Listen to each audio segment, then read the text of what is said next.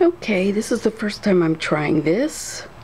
I am totally out of milkweed and can't find any at the stores. So I read online that you can feed the larger caterpillars cucumbers or pumpkin because there is a shortage of milkweed going on. So that's what I'm doing. Everything seems to be working okay so far.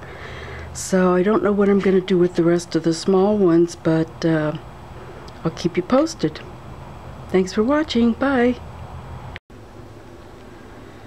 Okay, so here are the larger caterpillars, and I'm trying the cucumber slices because I ran out of milkweed, and everything seems to be working fine.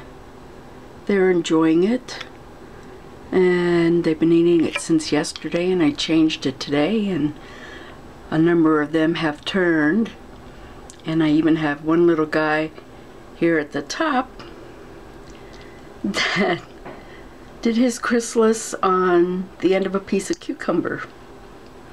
So pretty cool way this worked out. So I felt really good about an alternative food for the caterpillars.